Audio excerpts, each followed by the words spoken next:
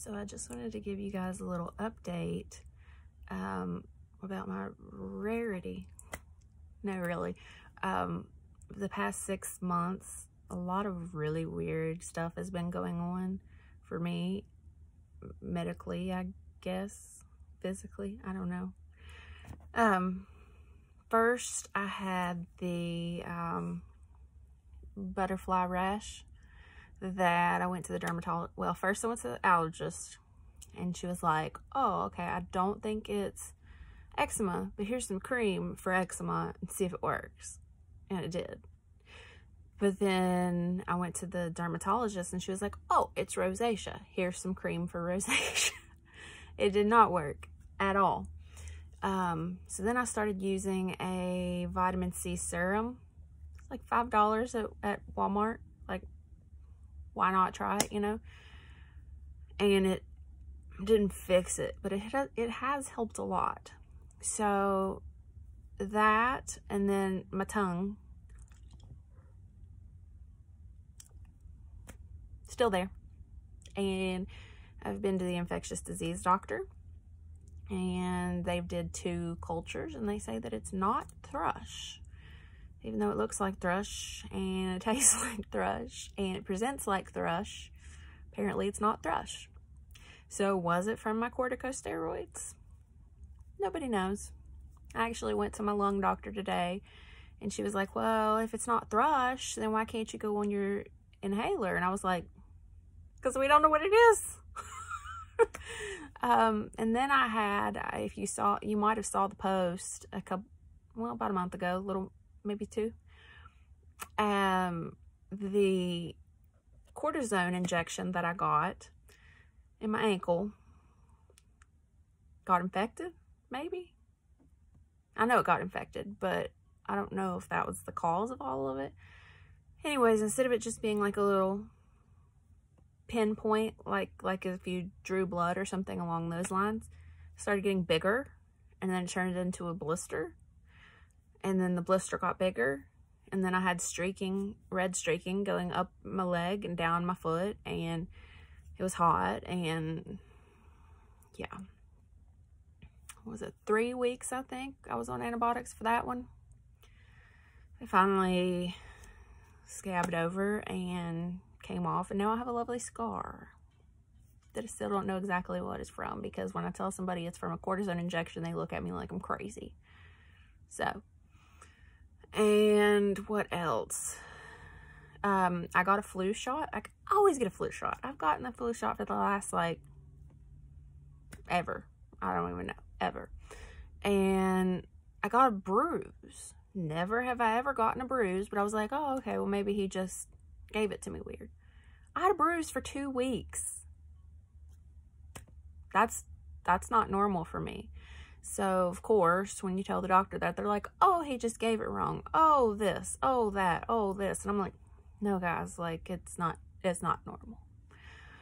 Um, so, like I said, I've been to the infectious disease doctor. She's ran a plethora of tests, and they've all been negative.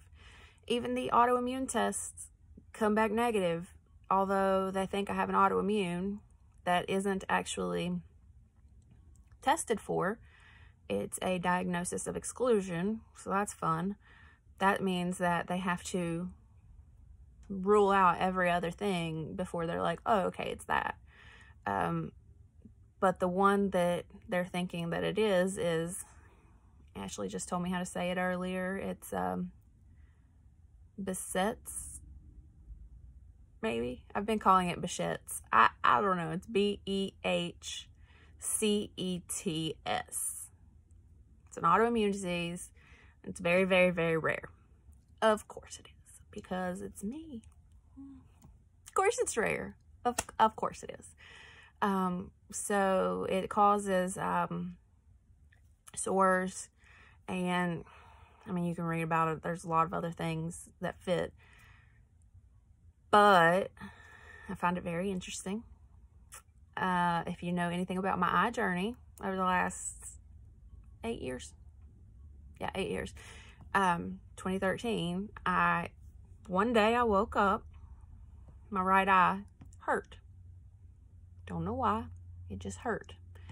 And it got worse and worse and worse. And then a month later, my left eye started hurting. So we went through every test imaginable, tried everything imaginable, Neurontin, um, nerve blocks, surgery, on and on and on and on and on. Cleveland, Duke, here, um, and nobody in eight years can tell me why my eyes hurt. In fact, most of the people tell me your eyes can't hurt. And I'm like, are you kidding me? You're telling me the person that has had five eye surgeries, very, very, very invasive eye surgeries, let alone that my eyes can't hurt. They can. If you've had a hair in your eye or a piece of glitter in your eye, it hurts. This isn't like that type of hurting though. It's like a ache that never goes away in both eyes. Gets worse when I, let's say, go to the store and those fluorescent lighting, things like that, it gets worse. When I move my eye in sudden movements, when I go all the way to either side, it gets worse. Several other things that it gets worse. But until now, they've said, oh, yeah, I don't, I don't know, I don't know. Well, guess what? One of the major symptoms of this Behçet's or whatever the hell you, I don't even know how to say it. Anyways, one of the major symptoms, eye pain. Eye pain. So now we acknowledge eye pain. Are we, are we serious right now? so yeah, I've been to like every doctor. I've tried plethora of medicines. Um, currently, I'm on antibiotics for a month, which will probably turn into a year just because that's what happens, apparently. A low dose clindamycin, I believe. I would have to look, but I think it's clindamycin. And I'm waiting on a referral to rheumatology because that's apparently who deals with autoimmune diseases, even though the ones that they've tested for are negative apparently she has to be the one or he or whoever has to be the one that gives me the official diagnosis for that, which is, yeah. It should be really fun to tell somebody that I have Marfan's and this, and I can't even say this, and and I expect them to know about it. It it it should be really fun. And I also am supposed to go to the oral surgeon to get a biopsy of my tongue which sounds terrible. The dentist, I, I just went there actually the other day too to get a cleaning. Dentist, you know, you would think like, oh, okay, they've probably seen this, blah, blah, blah. No. Had no idea what it was. And he was like, oh yeah, it's thrush. And I was like, no, but it's not. It's not thrush. So he was like, well, I don't know. That That's really, really weird and blah, blah, blah, blah, blah. And when you get a biopsy, you're probably, they're probably going to have to take like a slice out of your tongue. And I'm like, I thought we were talking like a needle biopsy here, so I. And he was like, well, what do they want to biopsy? Is it the blisters? Is it the white? Is it the this? Is I don't know. We're just doing a tongue biopsy.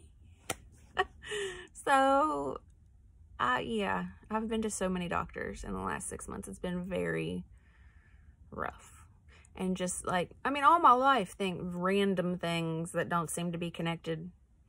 But the last six months, it's like, that can't not be connected. Do you know what I mean? Like, it's really, really weird. And none of it has been able to be explained. So, I don't know.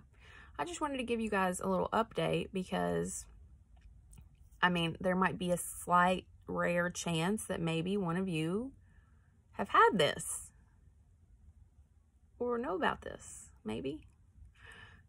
Anyways, it's um very rare.